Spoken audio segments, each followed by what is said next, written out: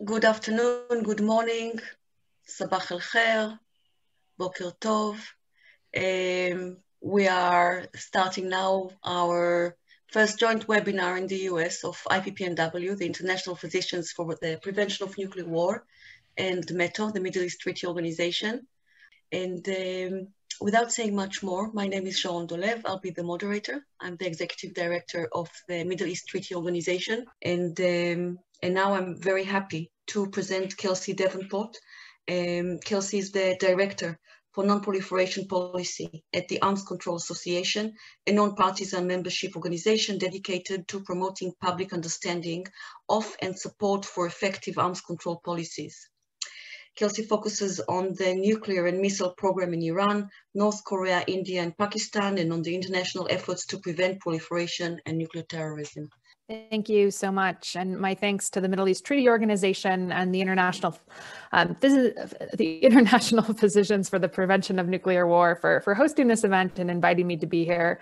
Uh, it's a great pleasure to, to be with you all to discuss the, these critical issues. And I want to begin, I think, by thanking Dr. Helfand for starting us off on what is a serious, but I think a very appropriate note uh, to remind us about the high stakes of these issues and, and the imperative for, for urgent action, because I, I very much agree with him that uh, a nuclear war, a nuclear accident is, is inevitable if we don't take swifter action to, to address this, this urgent risk. So today I'm going to talk a little bit about the relationship between the nuclear deal with Iran and, and what I see as possible path forwards for the Middle East WMD free zone. Uh, and despite the challenges in progressing on a zone and the challenges currently facing the nuclear deal with Iran, I'm optimistic about the future for both. I'm optimistic about the chances for restoring the deal and making progress on, on the zone. But you know, it's important to acknowledge that there are significant political and technical challenges to making progress on both of these issues. And some of these challenges are, are intertwined. So I'm going to organize my remarks first about looking at some of the political challenges and then moving to the technical side where I think that there may actually be some path forward, even if we're not seeing progress in the political space. So first, and looking at the political dimensions of these issues, I, I think it's it's it's important to, to state what is quite obvious here that that Iran's nuclear program is sucking up a lot of the political oxygen, the political attention, and it's continuing to dominate Middle East WMD issues. And this is unfortunate because we saw from two years of implementation of the nuclear deal that the agreement was effective, it was verifiable, and that it had addressed the concerns posed by Iran's nuclear program. So the crisis surrounding the deal, the fact that it remains the center of political attention, and this was a manufactured crisis created by the Trump administration's decision decision to withdraw and reimpose sanctions on Iran in, in violation of, of the deal. Uh, but given that this is the reality that we're in now, uh, I, I, think it's important to acknowledge that restoring the JCPOA, the nuclear deal with Iran, is going to continue to garner the attention of the three convening states, uh, the United States, the United Kingdom, and Russia, that were charged under the 2010 NPT review conference with convening a conference uh, to begin discussions on how to establish a Middle East WMD free zone. Uh, and not only is it garnering the attention of the three conveners, uh, but also states in the region are clearly focusing their efforts on opposing the restoration of the nuclear deal with Iran. Uh, and in some cases, that's giving them, I think, an out from taking steps of their own to actually meaningfully advance the zone. So I begin that then just by saying that restoring the nuclear deal with Iran uh, may actually help open some political space and also add some impetus to negotiations on the zone. Because if states in the region are concerned about what happens after certain limits with the nuclear deal with Iran expire. And, and I do think there is reason to be concerned about what may happen uh, when some of those restrictions on uranium enrichment phase out. You know, regional restrictions, you know, can be a positive way to both address their concerns about Iran, uh, but also advance the zone. Uh, so instead of looking at the JCPOA as insufficient, I think looking at the JCPOA through a regional lens as an option to help jumpstart some of those conversations on regional restrictions, you know, could be helpful for switching that element of, of political momentum. I, I, think, though, it's important to acknowledge that addressing the Iranian nuclear crisis, you know, could help facilitate conversations on its own.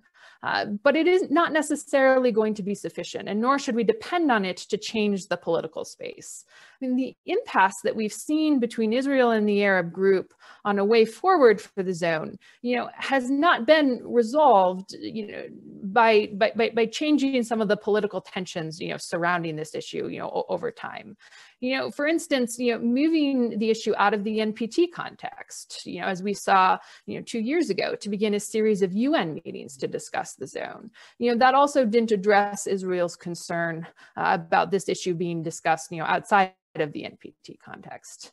And despite the fact that we've seen, you know, generally good, you know, that we've seen opportunities for Israel and Egypt to work together on security issues in the past, you know, that relationship has not allowed them to overcome uh, their disputes over how to proceed on the zone. So I don't think we should depend on or or, can, or think that the Abraham Accords themselves will be sufficient in terms of creating more political space uh, for the states in the region to discuss the prospect forward uh, on the zone.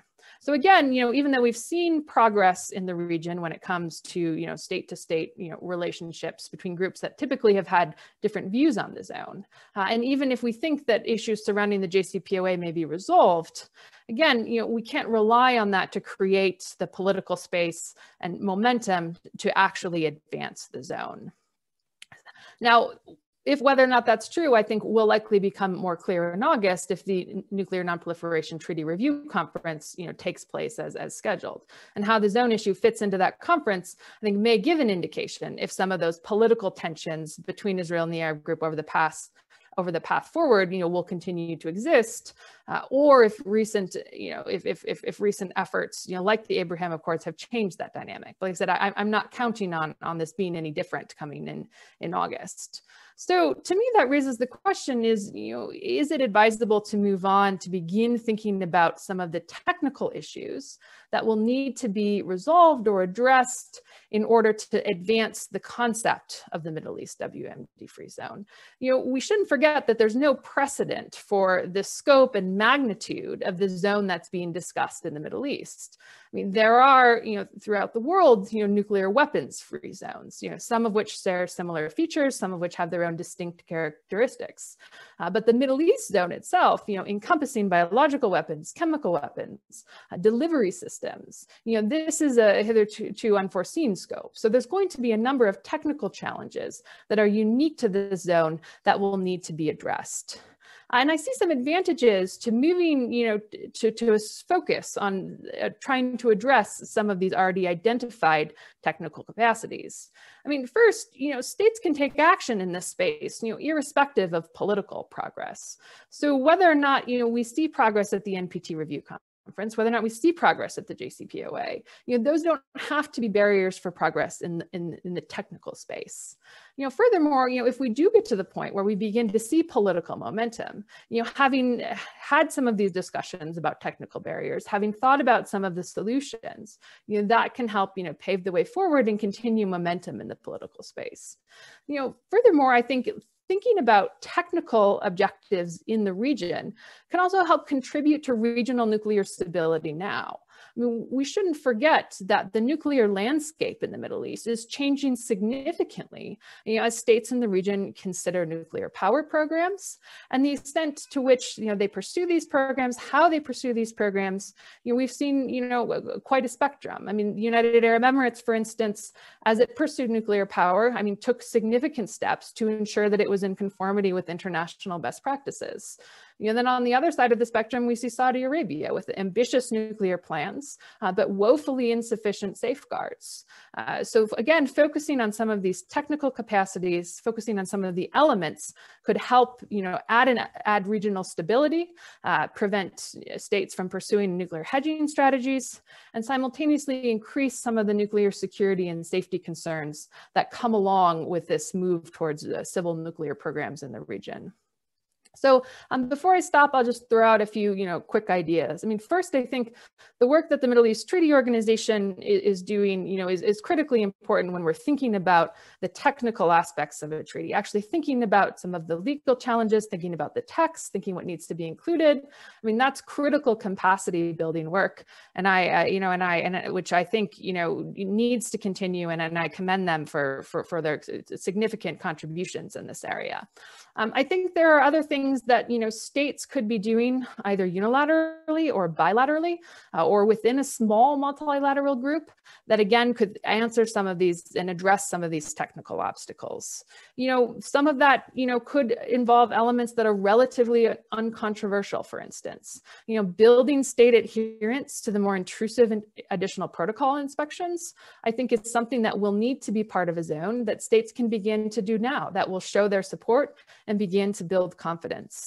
Um, there are other conventions that you know may not be necessary for the zone itself, but in terms of again building that state capacity, uh, building up um, you know and, and and and you know building momentum, you know things like the Convention on Nuclear Safety, another area that I think would increase confidence, increase stability when it comes to nuclear discussions sort of within the region.